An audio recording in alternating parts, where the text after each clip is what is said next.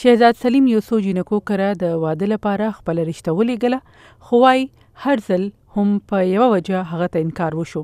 او هغه دا چې دی پاکستانی نه دی بلکې افغان مهاجر دی. اوس مثال په طور موږ یو جینۍ سره تعلق جوړ کړو نو هغه وایي یار ته رشته راولیږه چې زما به ما تاله درکړي ټول نه پهله خبره ورته موږ دا کوو چې موږ مهاجر یو هغه رشته هم هلته ختمه شي دونه پرابلم دونه ټینشن دی یقین وکړئ سر خو د پاکستان وزیراعظم عمران خان لخوا افغان ماجرو ته پاکستاني شهریت ورکولو اعلان سره د ده راتلونکې ښه کېدی شي. پاکستان د نړۍ په هغو هېوادونو کې یو دی چېرته چې په لوی شمېر کې کډوالو ته پناه ورکړې شوې ده. پاکستان کې قریباً دوه اعشاریه څلور میلیونه رجسټر او غیر رجسټر افغان ماجر ژوند کوي او ځینې پکې د کال نولس سوه یو کم اتیا یم کې افغانستان باندې د سوویت یونین برید وروسته راهاسې دلته مېشته دي. خو ډیر پاکستانیان دوی ته د شک په نظر ګوري په دوی د جنگي جرمونو او جنایتونو تور لګوي او دوی واپس افغانستان ته د لیږلو غوښتنه کوي افغان ماجرو ته د شریعت ورکولو د فیصلې ته د افغان کډوالو لخوا تود هرکلی ویل شو او په ټویټر پاڼه ځنو خلکو عمران خان پسې ټوکه هم وکړه چې اوس بده په افغانستان کې هم انتخابات وګټي خو دې اعلان د پاکستان د ننه یو تود بحث راپورته کړو او د پاکستان مرکزی اپوزیشن ګوندونو په فوري توګه د دې غندنه وکړه.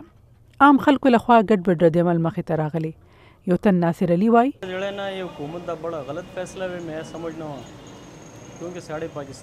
زه فکر کوم چې د حکومت دا فیصله سمه نه ده. د شهریت ورکول دومره لویه مسله نه وه. پاکستان ډیر مشکلات لري او پکار ده چې اول د غریبو خلکو مسلو ته پام وکړي.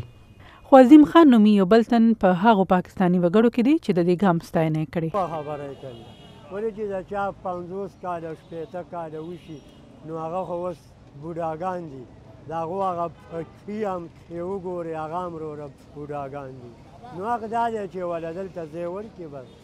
آټ وله ورکړي. د ملګرو ملتونو تر مخه پاکستان کې یو اشاریه څلور میلیونه رجسټر افغان کډوال ژوند کوي او د دوی څلور اویا فیصده هم پاکستان کې زیږیدلي دي دوی کې ډیر په کمپونو کې ژوند کوي او نور د پاکستان په لویو ښارونو کې میشته دي ودونه یې کړي ماشومان لري او کاروبارونه کوي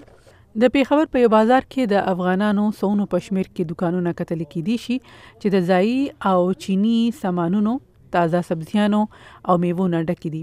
درې څلوېښت کلن عاشق الله جان هم دلته دوکان لري. ویښ کلن یم نو زما څونه عمر دلته پات تیر شو زما درې چنده عمر دلته تیر شوی دی او یو چنده هلته پات تیر شوی دی دلته اوس زما بیخي هر څه زما یعنی د ژوند هره تقاضا چې مطلب څه چې زه غواړم نو ما ته هلته شته دی نو زه دلته خوشحال دلته اوسېږم پاکستان په پاکستان کې د دوی حیثیت همیش نه ارزي وو او د دوی پاکستان نه د وتلو لپاره اخري نیټه به افغانستان کې حالات خرابېدو لوجې بیا بیا غځېده د ملګرو ملتونو کډوالو لپاره ایجنسۍ د وزیر اعظم عمران خان لخوا د دې ګام هرکلی کړي پاکستان کې د یونیټ سي آر ویانده وایي